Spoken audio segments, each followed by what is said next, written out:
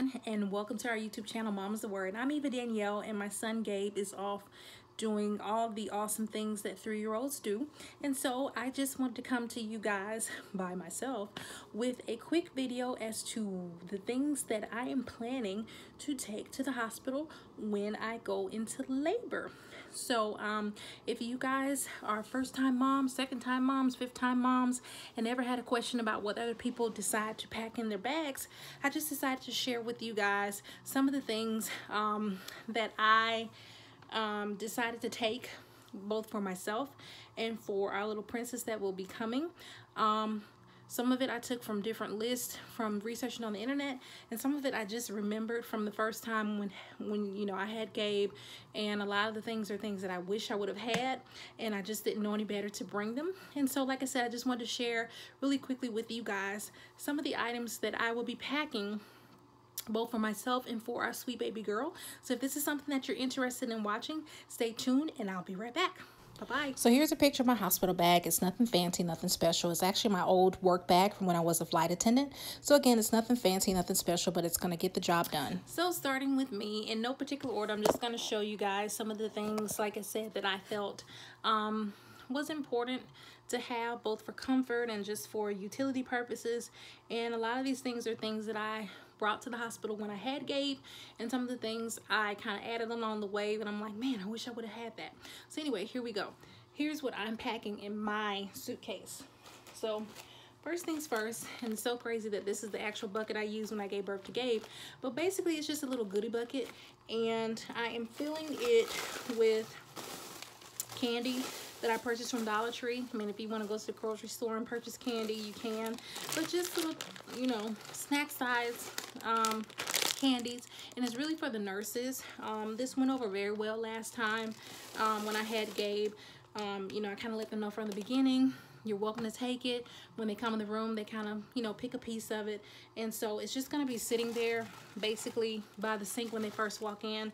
And I just felt like it was a really nice gesture to have something there for the nurses um, who are going to be helping to take care of Gabe and I. And like I said, it went over very well. And I got this little bucket from Dollar Tree. I started to go get a pink one, but I'm like, you know, it's candy. Who cares what it's in?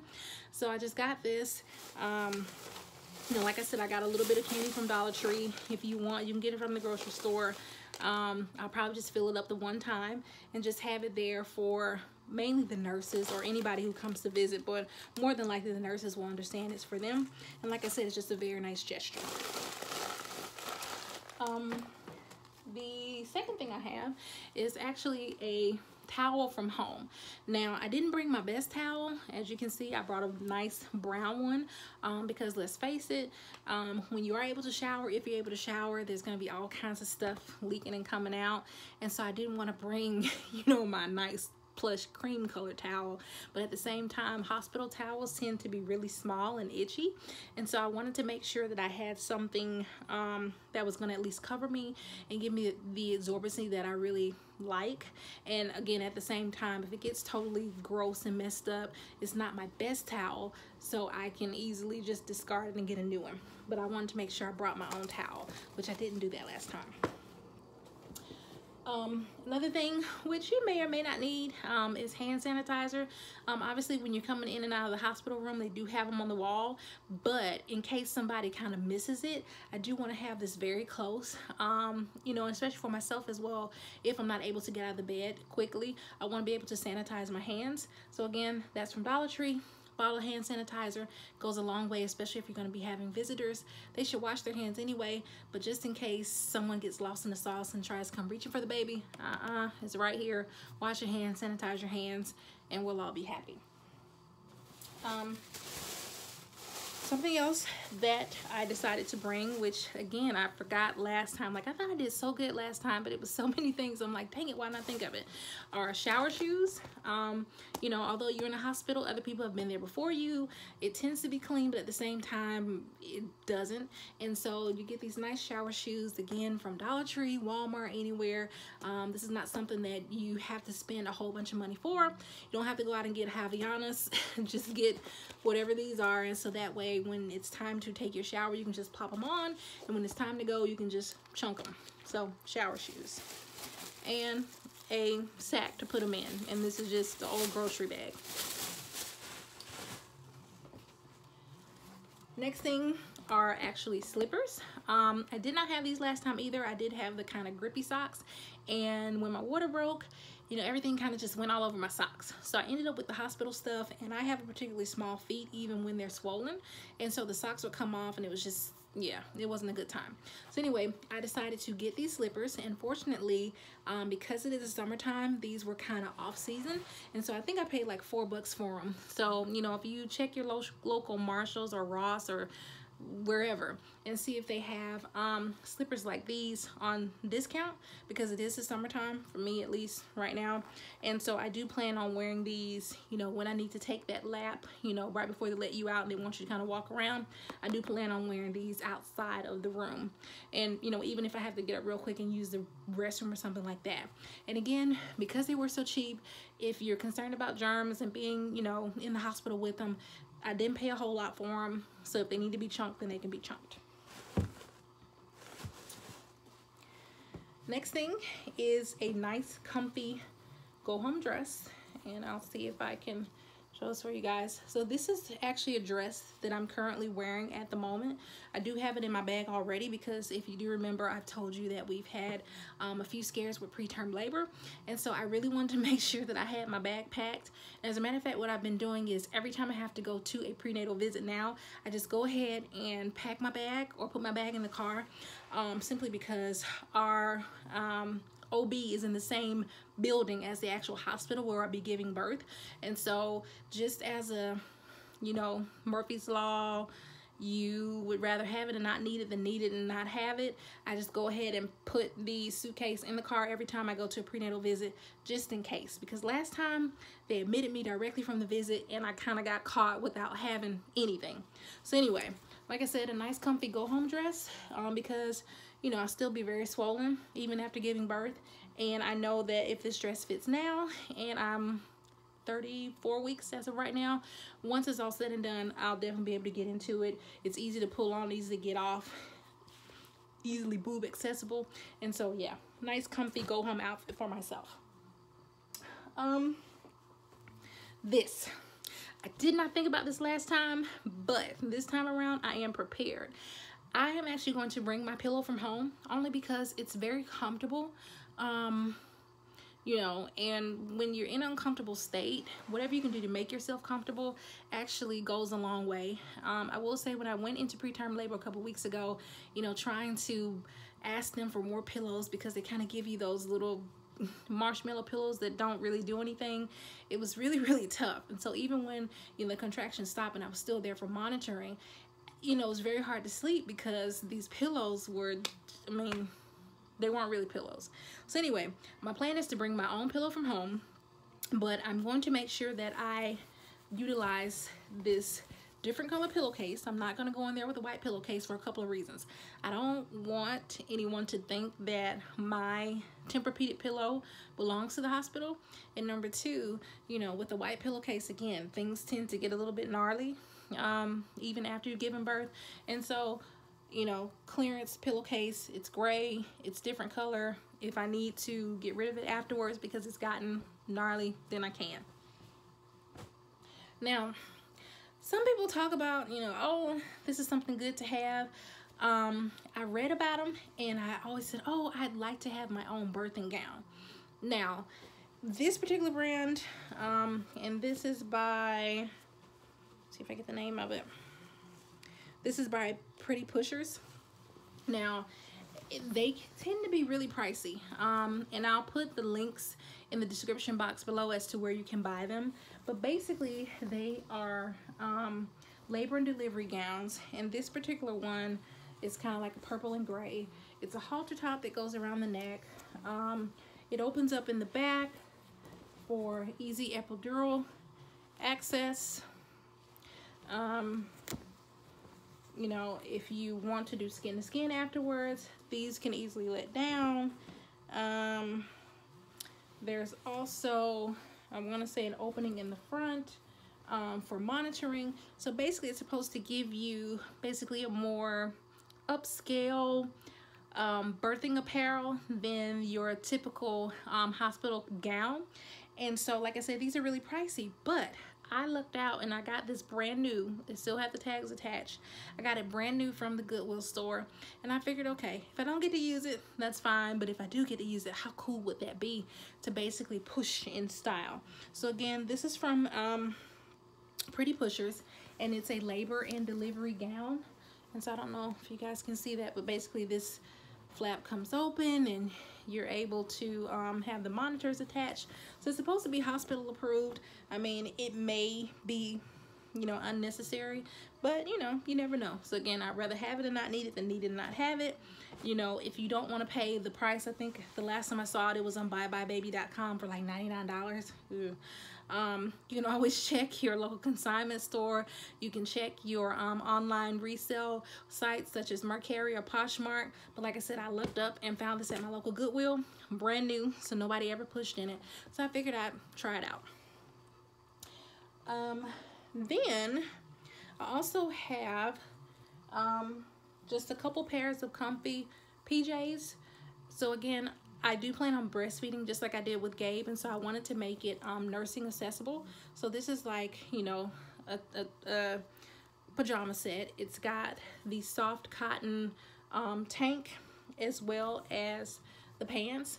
And so I figured a couple things if I'm able to have a vaginal delivery, which that is the plan, then I can wear the pants. If not, and I have to have a C-section, that's still fine. Um, I believe with Gabe, I did have the Foley catheter for a while, and so obviously you can't have pants on with that. But just in case, again, I'd rather have it and not need it than need it and not have it. And I just thought that these were um, super comfy.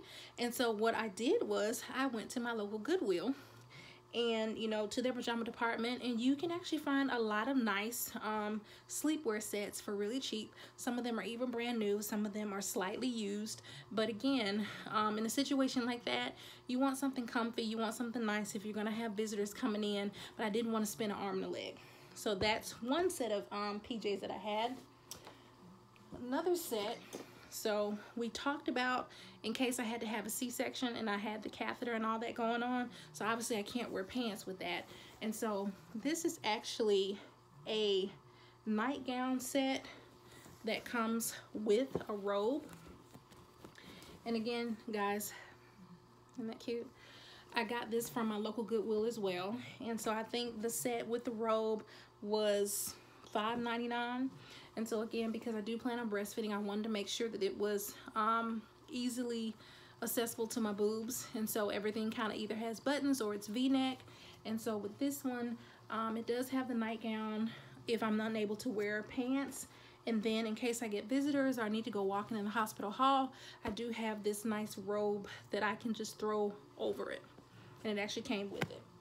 And last but not least, again, from Goodwill as well. Can y'all tell this is a trend? Like Goodwill, Goodwill, Goodwill. Um, this is also a nightgown. Once again, uh, nursing friendly. I can unbutton the buttons. This one comes down um, below the knees. And so even if I do have visitors that come, you know, I don't have to worry about them seeing my goodies. Um, if I do happen to have a catheter, I don't have to worry about it being caught up in pants. And so this is just a nice, um, departure away from, again, the hospital gowns that kind of leave your butt exposed, you know, that aren't really comfy. And so I'm hoping that I will be lucid enough to be able to change into one of these outfits. Um, but again, rather have it and not need it than need it and not have it all that good stuff. So again, Goodwill. So if it comes to the point where, you know, oh my God, I didn't use any of this stuff, it's from Goodwill. It still um, will come in handy when we do get home because like I said, I'm not at my house, I'm at my parents' house, and I still want to make sure that I am um, comfortable as well as presentable. Um, let's see. Now, a couple other things that I wanted to make sure. Now, I just stuck a few maxi pads in here. Now the hospitals typically do provide you with like these huge diaper like pads as well as these mesh panties. I just remember them, and again, it depends on your hospital. I just remember from the last place that I gave birth, and it's a completely different hospital, but I just remember them not fitting very well. The mesh panties were very large on me. Um, typically, you know, in my pregnancies, I'm pretty much all stomach. And so they kind of fell off. They didn't really um, stay up. And so I felt very uncomfortable. There were times where I had a couple accidents. And so I'm just going to, just because I don't know what kind of undergarments this hospital will provide, I'm just going to bring a few of my own um, pads. And these are super with wings. The ones that the hospital gives, it kind of sits under you. Like I said, for me, it was very uncomfortable because they were too big. And they were so big that they didn't really um, protect me because they were sliding everywhere. So I just decided to throw a couple of maxi pads in here just in case theirs doesn't work. But I mean, I'm going to try theirs first um, because basically you're paying for it. Um, again, socks. Um, the hospital socks, like I said, don't work for me because they're always too big and I always end up losing one. So I decided to bring my own socks. And this time I'm going to bring three pairs of socks because last time I brought like two pairs of socks and one pair of socks and they got totally messed up once my water broke. So I've got two pairs of socks that actually have the grippy bottoms. And I've also got these kind of knee-high socks that don't. Um, worst case scenario, the hospital socks can go over these and so that way it kind of gives my foot extra traction grip i don't know whatever but i wanted to make sure i still have my socks and then if you remember i do have my slippers so i'm not going to be barefoot make sure i brought my own soap hospital provides soap but it's normally this little bitty tiny bar and it dries your skin out and so i just decided to bring my own soap chapstick um yeah kind of self-explanatory. I did not have that last time and my lips were on fire. Hospital air tends to be very dry. You're laboring, you're doing all kind of stuff. And so last thing you want is dry lips. So um, Dollar Tree, got my Blistex and I'm good to go. Whatever chapstick you like. Of course, my trusty toothbrush. Um, again, hospital will probably provide undergarments. However, I don't know how they're going to work for me. So clearance at Walmart 448 I just got some large briefs that if they get messed up I'm not gonna cry about it. I didn't go to Victoria's Secret but I just wanted something that was gonna give me a little more um, I guess the feeling of being protected and not leaking everywhere. Um, I've got some facial wipes just in case you know, it's one of those days where I just don't feel like getting up, but at least I can refresh and wipe my face. And especially if company is going to be coming, I can refresh real quick and I don't look like one of the Walking Dead. Um, so yeah, facial wipes. Um, we've also got, and I had these from when I gave birth to Gabe, a few uh, nursing bras.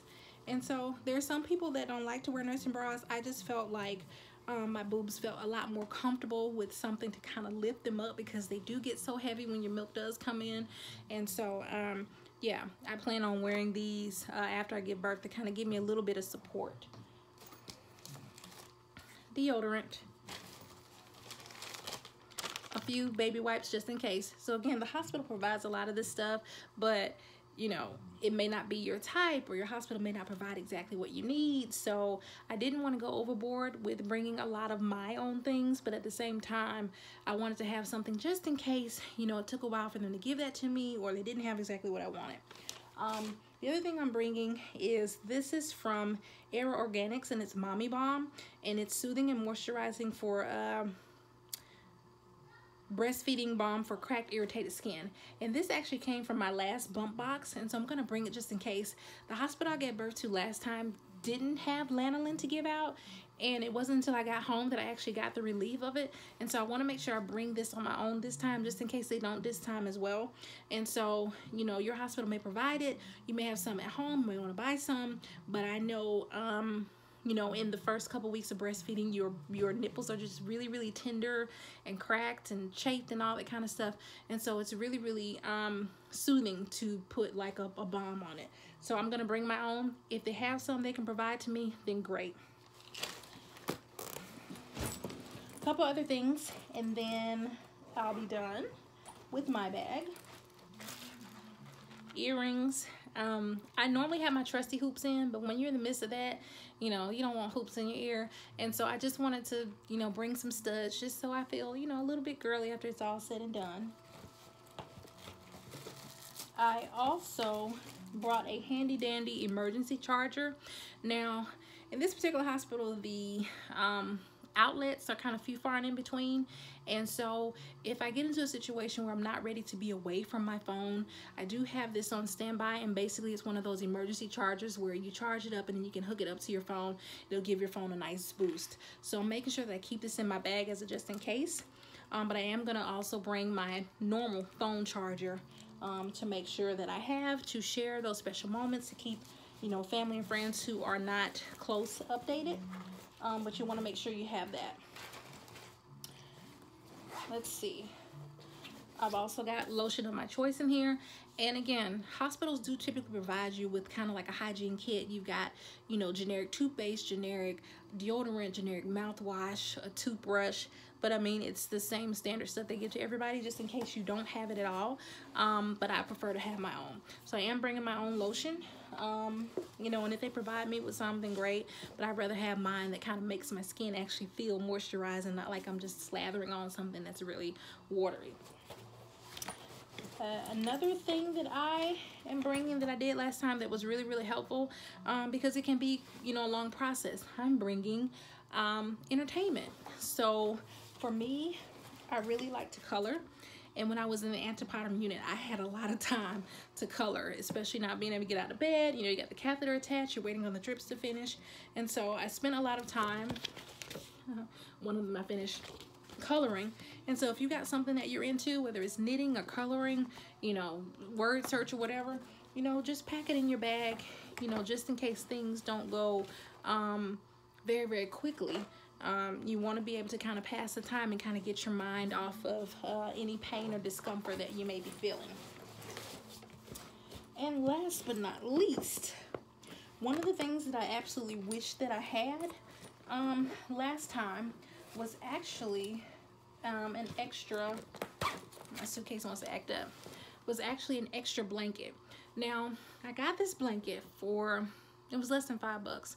Um, we had a Toys R Us that was closing near us. And so I would go there when they were, you know, doing their 50% off, 60% off, 7% off.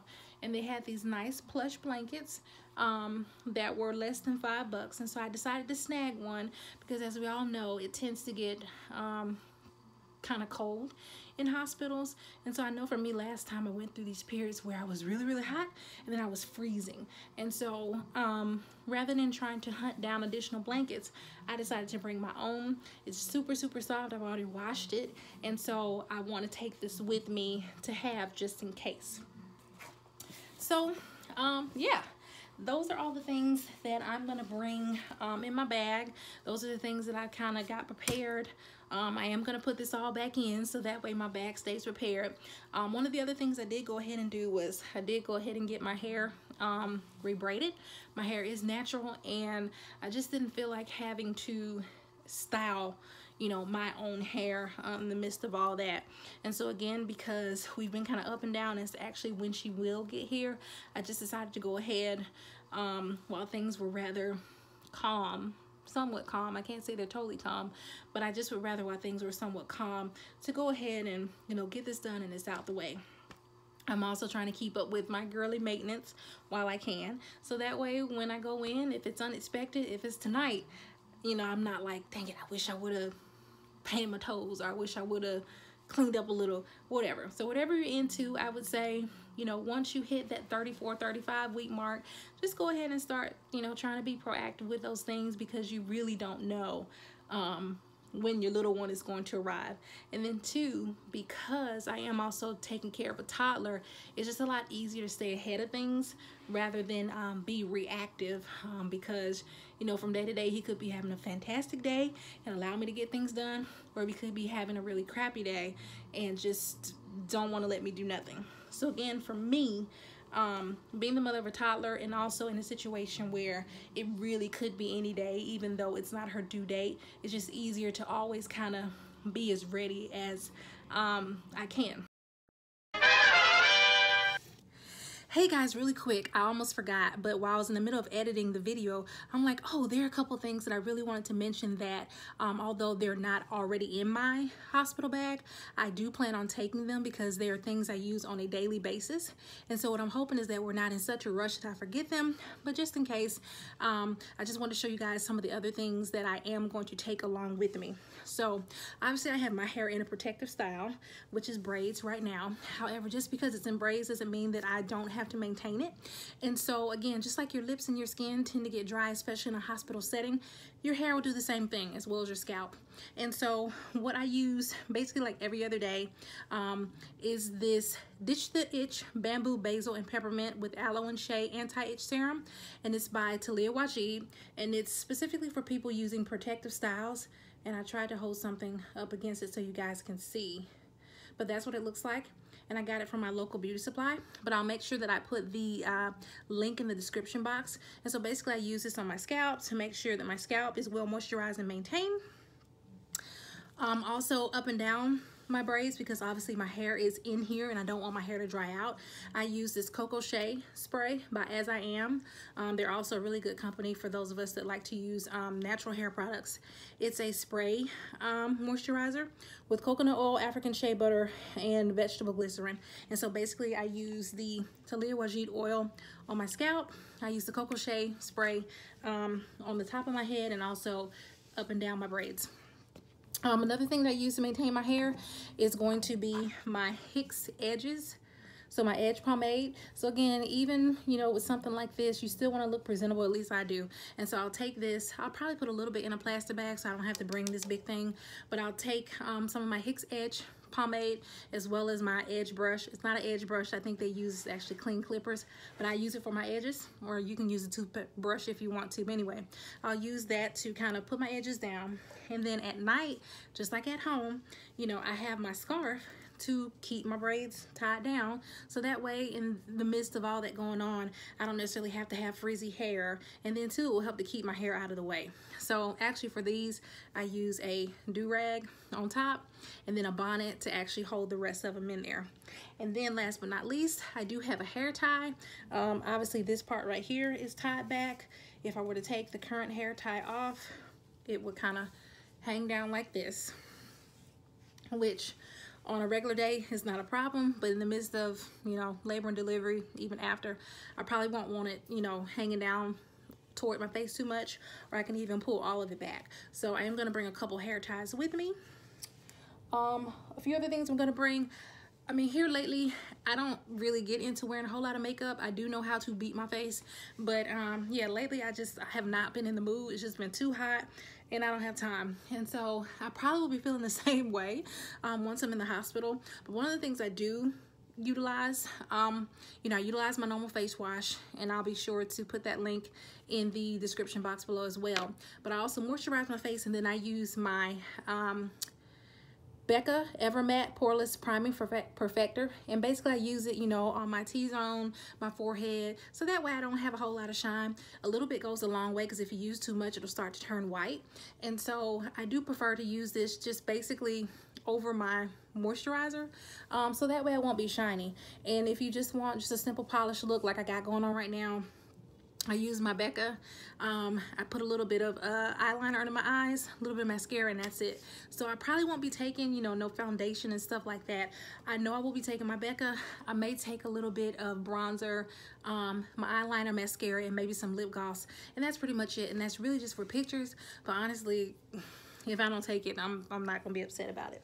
But uh, yeah, anyway, so I just want to come back and give you guys a few other things that I plan on taking with me that aren't necessarily in my bag already, but they are things I utilize all the time. So anyway, be right back. So anyway, I just wanted to share with you guys what I had in my bag.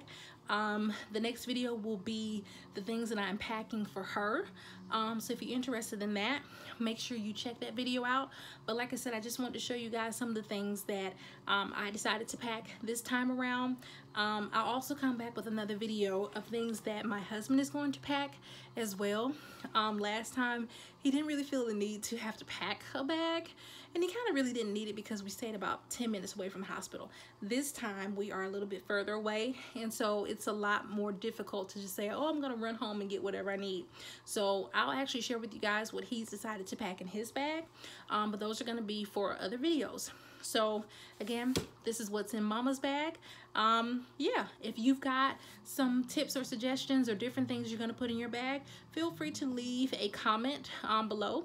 And as always, I'll be sure to try and answer each and every one of them. And as always, we sincerely thank you for liking, watching, and subscribing, and most importantly, telling a friend. And we will see you on the next video. Until then, take care of yourself, and we'll talk to you soon. Bye-bye.